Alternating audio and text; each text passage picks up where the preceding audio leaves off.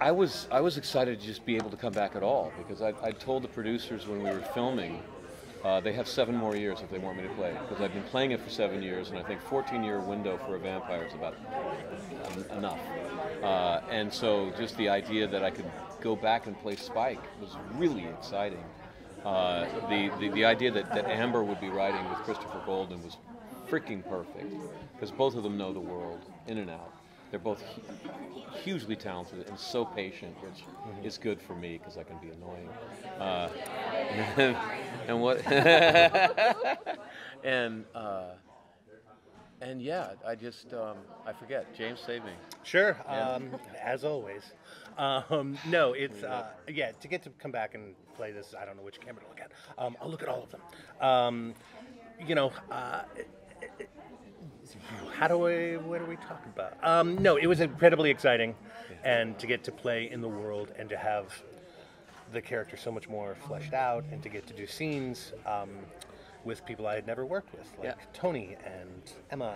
Well, I worked with Emma, but and Charisma and those like watching those people work and everybody work has was like sometimes I was like, oh crap, I have a line. Um, so yeah, it was incredible. And the thing is, is that we were originally really well cast.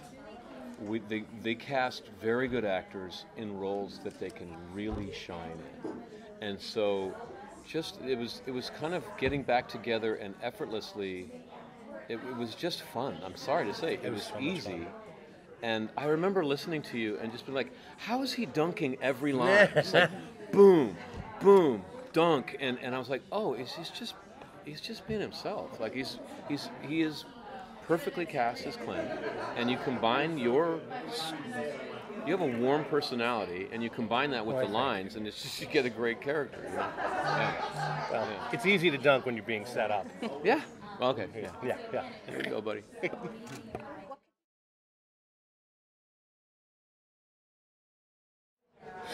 So much more like special effects kind of stuff to use the brain to that you couldn't budgetarily probably use before. That's a good question. Um, I, I guess I'll flip it because I, I, um, I think that the scripts that we that were written probably would be easily filmed. You know, yes, a little bit of money there. Yeah. But that, that, that they fit very much in what you'd expect out of out of an original episode. Um, uh, my concern was the fights. Uh, I thought I'd done other audible dramas, and the fights kind of sounded like this, "Mm, ah, ee, ah, like, and I'm like, cheesy is not the brand. You know that uh, I think the movie was kind of camp, and it, it, that's not the way to serve this kind of property. Um, and they were like, "Oh, don't worry about it. You know, we, we're a different company. We, we do it right, and don't worry about it." I was like, "Okay, now I'm worrying." Um, but then they, they they had me hear it. I listened to about 15 minutes of it, and I was like, "Oh my god, it's perfect." And the the the, the technology that they're using is this proprietary technology that um, puts the audience in a specific point at in the room, and then blocks the actors digitally because we were, we we recorded it just standing still at a microphone, but they're manipulating right? And they're they are moving our voices around the room, and they took the time to block all of the scenes for all of the episodes. And they showed me the notes, and they had me listen to it. And for, for those people who have surround sound, you will hear us walking around you. And they they had me listen to it in stereo too, and it's still very effective. But what, I had this idea that people should in their friend group, find the person who has surround sound and then have listen parties.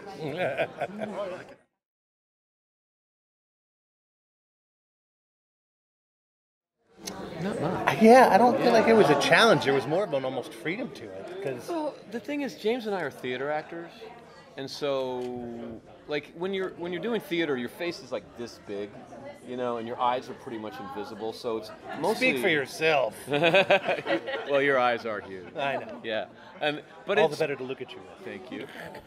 You're quick. So so like like you're hanging words in the air. That's that's kind of your job. And in a certain rhythm, in a certain color to tell a story.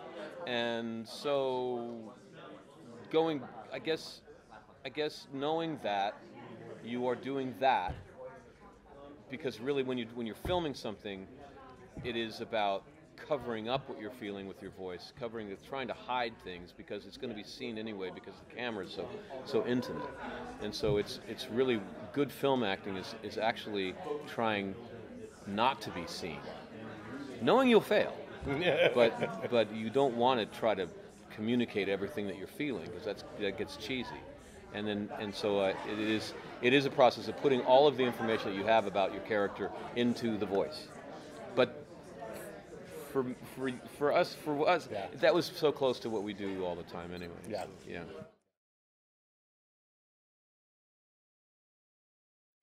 No, I've completely forgotten him. You know, I've left him way behind. You know. Oh, come on, buddy. No, I mean, you No, know, you people think I'm haven't. insane. You know, Well, sure. go to a but party. Hey, we James, don't like how to you say that doing? word anymore. You know, oh, I'm fine. You know, but can't do it. No, I've moved on with my life. For God's sake.